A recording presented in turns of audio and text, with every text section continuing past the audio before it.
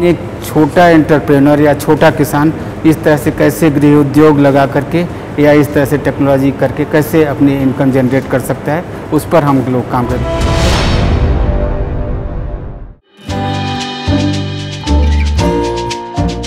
हमारे किसान भाई खेती करने में एकदम माहिर होते हैं, लेकिन जब फ़सल बेचने की बात आती है तो वो इसमें ठीक से मुनाफा नहीं ले पाते। ऐसे में सारे किए धरे पर पानी फिर जाता है। लेकिन अगर हमारे किसान भाइयों के पास अपने उत्पाद को प्रोसेस करने का हुनर हो, यानी उत्पाद को बाज़ार में कच्चा न बेचकर उससे कोई अन्य काम की वस्तु बनाकर बेची जाए तो इससे उनके कृषि उत्पाद की कीमत बहुत बहुत बढ़ जाती है। और आज हम आपको बताने जा रहे हैं एलोवेरा जूस कैसे बनाएँ इसके बारे में।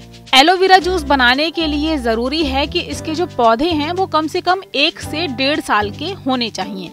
अब जो इसकी पत्तियाँ हैं, इन्हें पहले अच्छे से धो लें, क्योंकि आप इससे जूस बनाने जा रहे हैं तो ये ज़रूरी है कि ये एकदम साफ़ सुथरी हो। अब आइए जानते हैं पूरी विधि कि कैसे इनसे जूस बनाया जाता है और कैसे इस मशीन को खरीद कर आप इसकी शुरुआत कर सकते हैं। और ये तमाम बातें आपको बता रहे हैं राजस्थान कृषि अनुसंधान संस्थान, दुर्गापुर कृषि प्रसंस्करण मॉडल केंद्र के विशेषज्ञ। हम लोग यहाँ एलोवेरा की प्रोसेसिंग कर रहे हैं, एलोवेरा की लीव से जूस बनाने की। आप सभी जानते हैं, एलोवेरा एक औषधि पौधा है।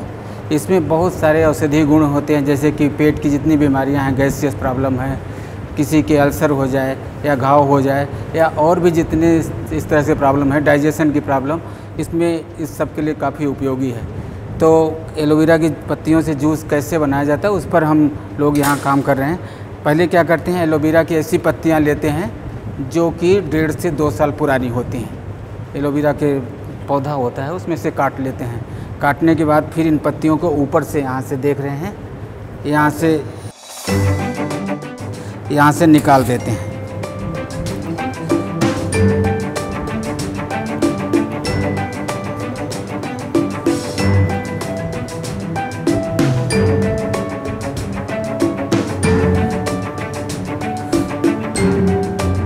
उसके बाद इन पत्तियों को पानी में, साफ़ पानी में टैप वाटर में एक घंटे के लिए रख देते हैं। रखने से क्या होता है, जो येलो सेप है, ये पीला पदार्थ है, ये ये हार्मफुल है और इस, ये, इसके द्वारा इससे जूस नहीं बनाया जाता। इसलिए इसको रखने से एक घंटे तक रखने के बाद स्वतः ये जो एलोइन कंटेंट है, ये पूरा इस तरह से इसमें से निकल जाता है, घुल जाता है।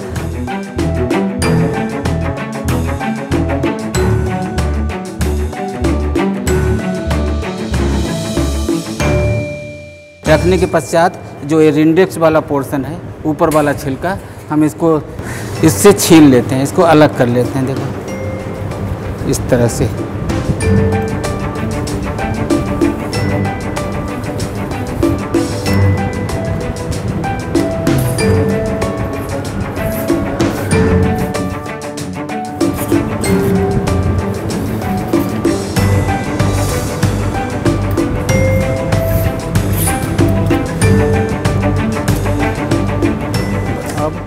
इसके बाद फिर इन एलोवेरा की पत्तियों को जो गुदा है पार्ट है, इसको हम एक मशीन डेवलप किए हैं ग्राइंडिंग मशीन उसमें हम इसको ग्राइंड कर लेते हैं।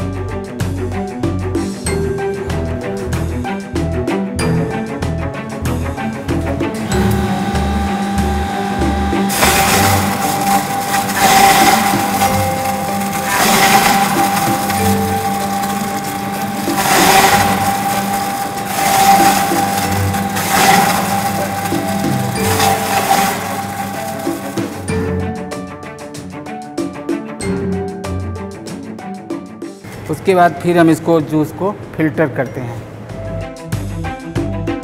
हाँ फ़िल्टर करने के पश्चात फिर इसको पास्चराइज कर देते हैं। वहाँ एक केटल है, स्टीम केटल। उसमें से फिर पास्चराइज मीन्स 70 डिग्री सेल्सियस तक उसको गर्म करते हैं। फिर अप टू 4 डिग्री सेल्सियस ठंडा करते हैं। जैसे कि मिल्क में देखा होगा आपने, जो बैक्टीरिया होते हैं, वो सब ख़त्म हो जाते हैं।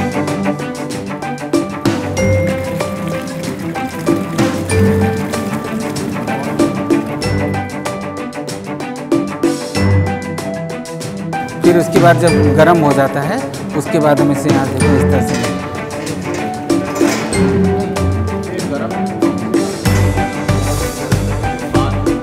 करके फिर बॉटलिंग कर लेते हैं।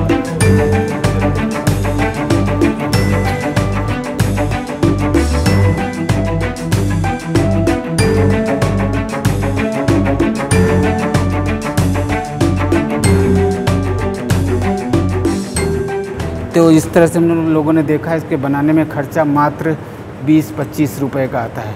और मार्केट में अभी हमारे यहाँ एक सेल पॉइंट है सेल से काउंटर है। उस पर हम लोग इसको सौ रुपये पर लीटर मिलता तो कोई भी, भी किसान इस तरह से एक सेंटर लगा करके अच्छा उत्पादन कर सकता है। यहीं पास में एक गाँव है बस्सी। वहाँ पे हमने एक किसान के यहाँ ये पूरी टेक्नोलॉजी जो हम लोगों ने यहाँ डेवलप किया है उसको दे रखा है। और वो सिंपल छोटा सा है करीब सत्तर अस्सी हज़ार रुपये खर्च करके और पैंतीस, चालीस हज़ार रुपये हर महीने वो कमा रहा है।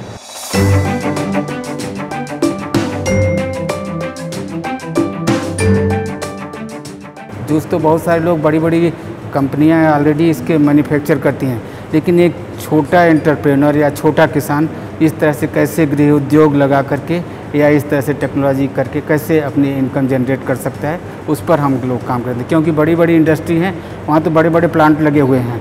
तो वो लोग बनाते हैं। लेकिन एक छोटा किसान जो बहुत कम लागत लगा करके कैसे जूस बनाए, उस पर हम लोग काम कर रहे हैं। किसानों के लिए क्या काम हो सकता है? सत्तर से अस्सी हज़ार रूपए खर्च करके आप एक छोटी यूनिट लगा सकते हैं और इससे अपने उत्पाद के मूल्य में बहुत ज़्यादा इजाफा करके अच्छा पैसा भी कमा सकते हैं। तो देर किस बात की? आप चाहें जो भी फ़सल लगाएँ, उसे प्रोसेस करें वैल्यू एडिशन करें, खुद भी अच्छा कमाएँ और दूसरों को भी रोज़गार दें।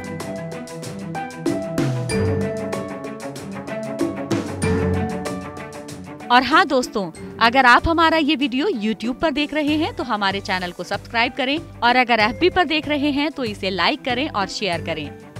अगर आप चाहते हैं कि ग्रीन टीवी इसी तरह से किसानों को सशक्त करने के लिए कार्य करता रहे तो आप भी इसमें अपना सहयोग दे सकते हैं। डिस्क्रिप्शन पर जाकर दिए गए लिंक पर क्लिक करें पेटीएम करें एन और क्रेडिट कार्ड के ज़रिए भी आप हमें सहयोग दे सकते हैं।